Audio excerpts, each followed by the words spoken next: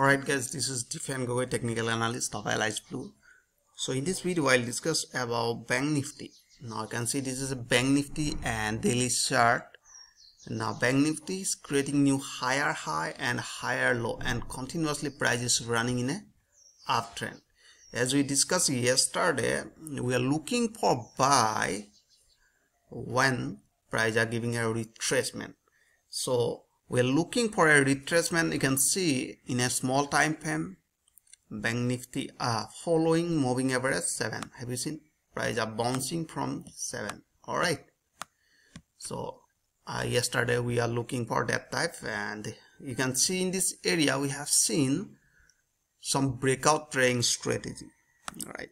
So let me connect this point. So let me remove this one. Exactly I think let me connect by here you can see uh, somewhere here like that. Yeah we have seen multiple rejection in this area.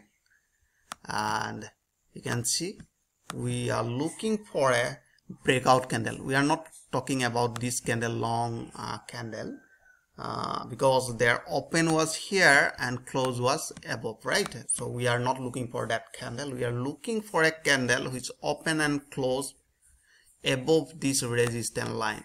So next candle this candle we have seen open and close are above this candle right?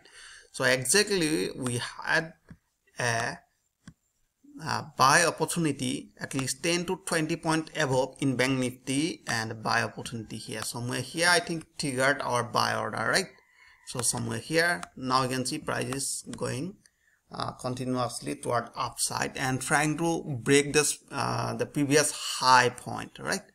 So if you want to see price exactly i think uh, near previous higher point and you can see previous higher point was 30 1007 8 to I think a previous high record right? So all-time high. So I think here almost uh, 30 to 40 point below the previous higher point. So we are expecting they will break this previous higher point. So now question is that uh, if you if you wanna see in a large scale, uh, large, large time frame, we have seen price just near the previous all-time high, uh, near this previous higher point, right? All-time high. So we are looking for a breakout, right?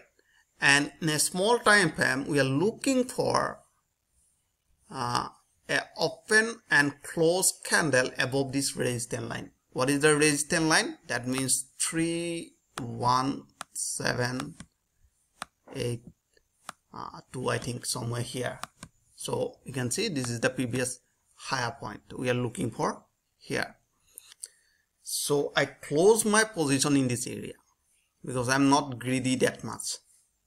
Alright so I always uh, follow the rules because I never break the rules whatever. Uh, whatever price goes doesn't matter but I follow consistently my rule. I'm not greedy right? Like greedy psychological factor. I never uh, let come in my mind right? So according to my rule I'll close my position near resistance line or supporting line.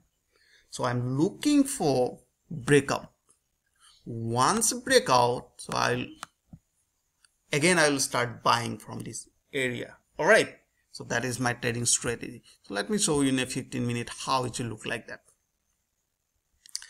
Now you can see 15 minute time frame we have seen uh, this price are